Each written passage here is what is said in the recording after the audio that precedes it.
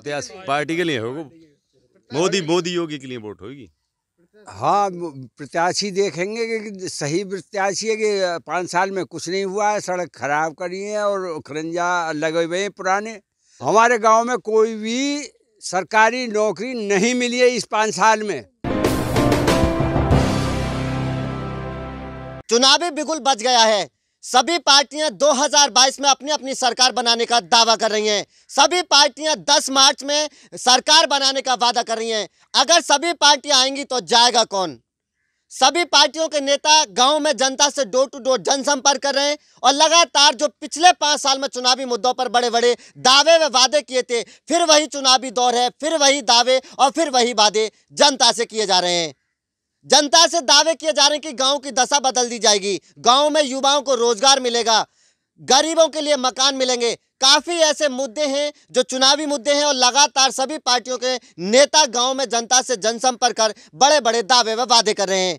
वहीं चुनावी चर्चा हम करेंगे। पीछे सम्मानित लोग यहाँ मौजूद हैं। इस चुनावी चर्चा को लेकर बुलंदशहर के खुर्जा विधानसभा क्षेत्र में हम मौजूद हैं और यहाँ पर देख सकते हैं तस्वीरों में कि सभी सम्मानित लोग यहाँ गाँव के मौजूद हैं। इनसे हम जानेंगे कि आखिर खुर्जा विधानसभा क्षेत्र का माहौल क्या है। क्या चाहती है जनता? बदलाव चाहती है जनता या फिर जो विकास के बड़े बड़े दावे व वादे किए जा रहे थे, जनता को उन पर फिर कितना विश्वास है? हमारे गाँव में जब से काके में इक्यानवे बानवे से बीजेपी वोट देते आए हैं। तब से काके में कोई विकास ना हुआ बिल्कुल।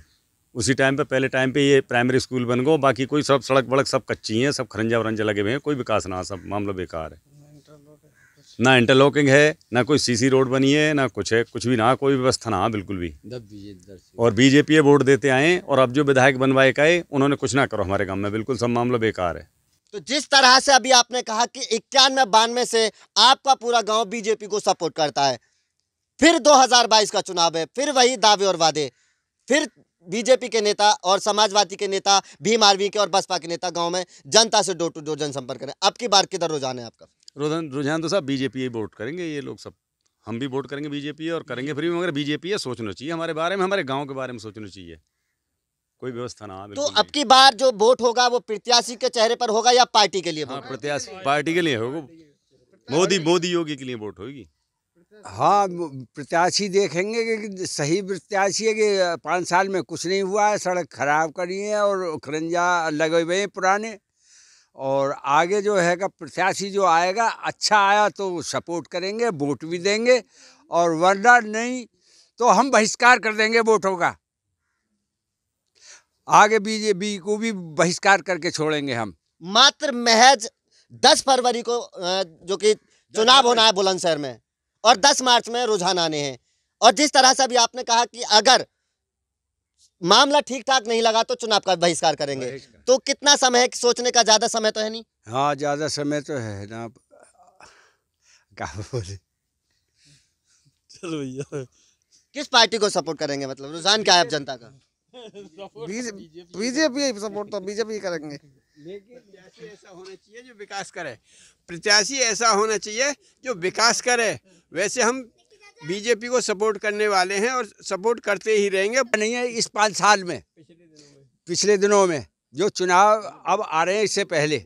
जो बोर्ड लगाया हुआ कार्य हुआ नहीं और बोर्ड लगा गए हैं वो जो है का यहाँ अब पाँच साल के जो बीजेपी पार्टी के जो विधायक विजेंदर और और सड़क भी बनाई नहीं है और वो कागजन में कागज़ दिखा दी है सड़क और सड़क सड़क बनाई नहीं है।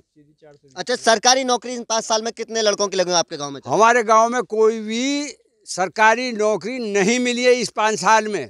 किसी को मकान मिला हो? ना कोई मकान मिला है ना कोई सुविधा दी नहीं है। गवर्नमेंट ने बीजेपी ने।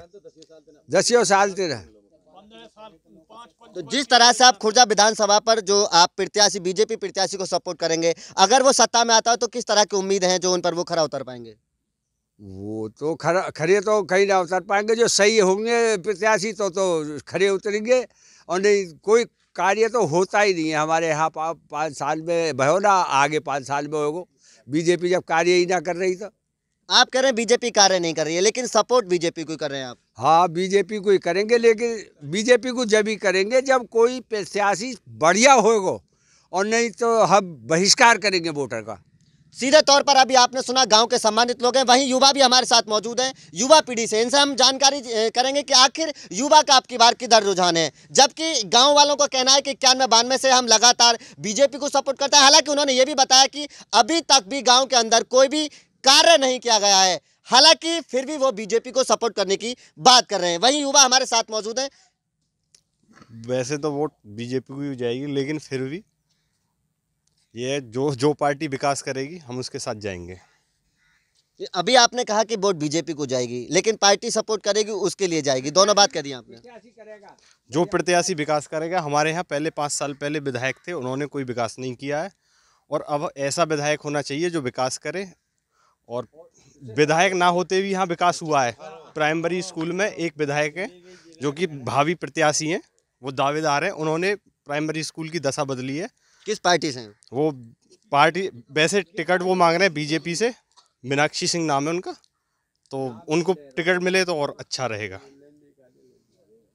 सीधे तौर पर अभी आपने युवाओं को भी सुना सम्मानित लोगों को भी सुना। खुर्जा विधानसभा क्षेत्र का ये गाँव है और सीधे तौर पर सभी ने बताया कि वे बीजेपी के एक कद्दावर नेता मान लो, कद्दावर कार्यकर्ता मान लो, और इक्यानवे बानवे से ये आज तक भी बीजेपी को सपोर्ट करते हैं। और अभी भी ये बीजेपी को सपोर्ट करने की बात कर रहे हैं, लेकिन इनमें थोड़ी नाराज़गी देखने को मिल रही है। सीधे तौर पर जो कि खुर्जा विधानसभा के मौजूदा विधायक थे उन्हों के द्वारा गाँव में कोई कार्य नहीं कराया गया, जैसा भी इन्होंने बताया था। हालाँकि फिर 2022 का चुनाव है 10 फरवरी में बुलंदशहर में चुनाव होने हैं, और सीधे तौर पर इन्होंने ये दो बातें कही हैं कि अगर प्रत्याशी सही नहीं हुआ तो चुनाव का बहिष्कार भी करेंगे। हालाँकि जो इनका वोट होगा वो पार्टी पर होगा। पार्टी के लिए ये वोट करेंगे। अब देखना यही होगा कि 2022 में सभी पार्टियाँ अपनी अपनी सरकार बनाने का दावा कर रही हैं। अब ये तो जनता ही बताएगी कि 2022 में खुर्जा का बादशाह कौन होगा। कैमरा पर्सन फरियाद अली के साथ कदीम खान एनटीटीवी भारत बुलंदशहर देश दुनिया की ताज़ा तरीन खबरों से रूबरू होने के लिए